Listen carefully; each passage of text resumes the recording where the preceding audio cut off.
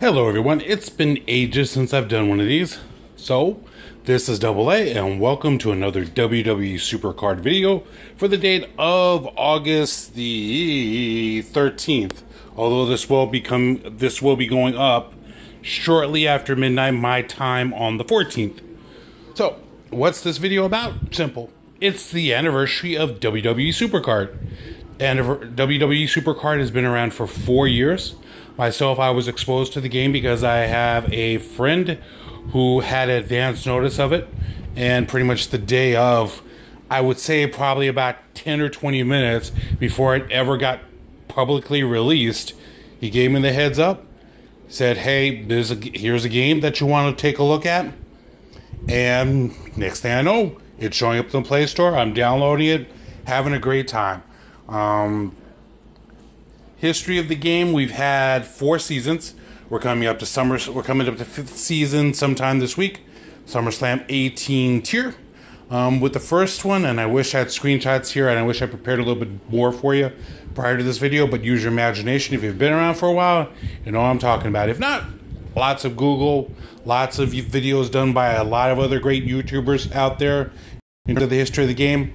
Check them out. People like Super Zone Barbecue, Luigi PS3, uh, Bad Lad Dad, Biggie Dude. You, you've heard the name, so you know their reputation. Go check them out. Um, season one was pretty basic. It was basically just cards, no frills. When I started playing it, um, you kind of pick up on it real quickly.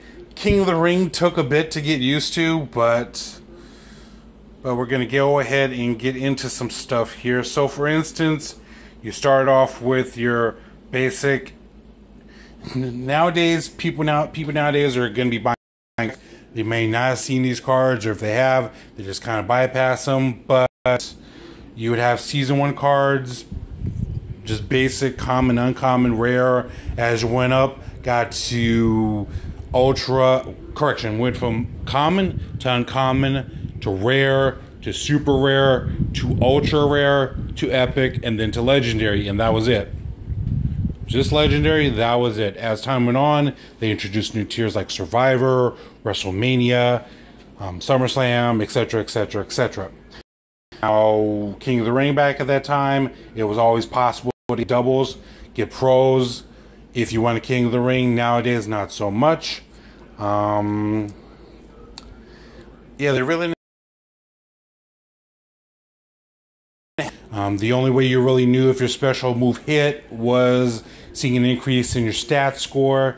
You didn't have the animations that they do today.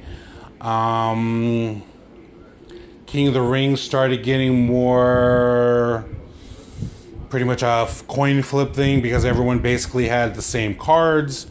My favorite card out of everything my favorite card out of the first season and overall would be Bruno Sammartino. Love the card, cherished it for as long as I had it. Myself, I wish that they did with Supercard what NBA does with what 2K does with NBA 2K or whoever's running that now. In the fact that as you get on, there's a thing called the what do you call that? Is it's like the legends, the what do they call those things? In any case, there was a special pack. There was special cards that that represented the legends very well. They had high stats, pretty much the highest. Um, you it's kind of hard to do pros because you really wouldn't spend that much money to do a pro. The stats were big enough that you really didn't need to. Um, but yeah, I wish they did more in terms of a legendary packs whether it be as a tier in and of itself or special packs with a high enough price that it's worth your while. Hey, they're legends. What can you expect? Um, then we went on to season two, where it was kind of a reset, but not really, because basically you could still utilize your season one game cards, but you couldn't really use them in season two that much. Uh, like I said, it was it was basically a way to think it's a reset because in reality it was because it was a whole new ball game. Like I said, you could still use the season one cards. Um, you could fuse cards over. As a matter of fact, let me pull up one here.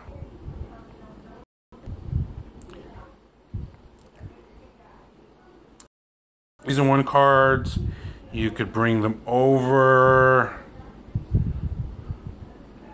And it's going to take a bit here. Where's that at? That was in here. Give me time. Give me a moment here. Super rare, probably?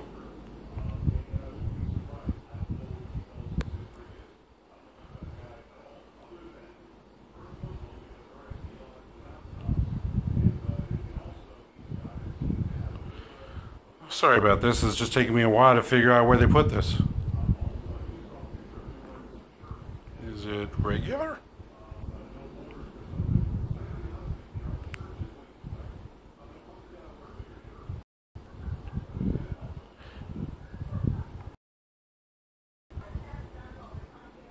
Okay, so it hasn't it hasn't been put into legacy material yet but you could basically bring cards over from season one into season two. Now, with these, essentially, you were taking a higher card, reducing the stats tremendously, but still able to use them as part of season two. As you can see right here, um, with her father, Jim Neidhart. Rest in peace. We will miss you. Condolences go out to the family there. But getting back to the video here, as you can see, the background was a bit different. The point totals were a little bit lower, but it gave you a better edge because you had your well in advance of your rares and etc. etc. In time, we they would introduce training your cards up, so you could basically pro your cards if you had two of them in full or anytime. But they added the added of training your cards up. Um, you play a certain amount of games in each in each in each stat. As a matter of fact, let me pull up a newer one. You're, if you're playing the game right now, so you know what this looks like. But just for those of you, just to bring you up to speed, they would bring up training um, with your commons and your uncom. With your commons, they would be in each, and then as you got up in in rank of cards, then you had to play a little bit more, get your ability, etc., etc., etc.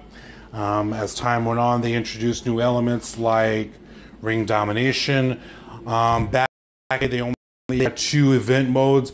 They were PCC, that was People's Champion Challenge, as well as Road to Glory. People's Champions Challenge was essentially two cards. You chose one that you want to play for, but the one that got the most wins got that card released as part of their tier so you would see things like Hulk Hogan against Andre the Giant. I wish they did more of those legend things more often. Um, Brock Lesnar against Cena, I think. Um, Dolph Ziggler against Luke Harper, etc., etc., etc. So yeah, like I said, the winner, the card that got the most wins, that card was the one that was released. Yeah, Glory, um, starting out with Sting, I believe, and pretty much the easiest road to glory ever but they got a little bit more difficult as time went on. Um, I remember very much the Triple H Road to Glory. That was the second one after Sting. Hard as hell. Basically, two pointed over two cards.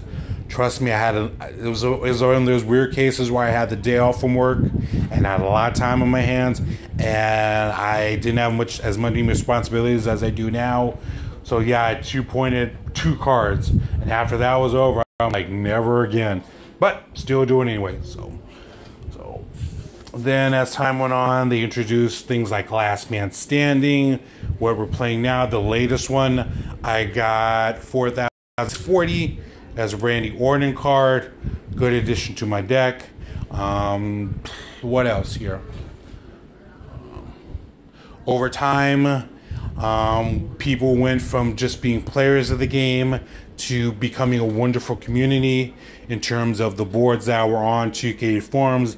I no longer go on those because it's been a pain in the butt. Sorry to be negative, but there's more restrictions on the board. I prefer to do Twitter and Facebook because it's more of a everyone's helping out each other and don't have to worry about anything type things.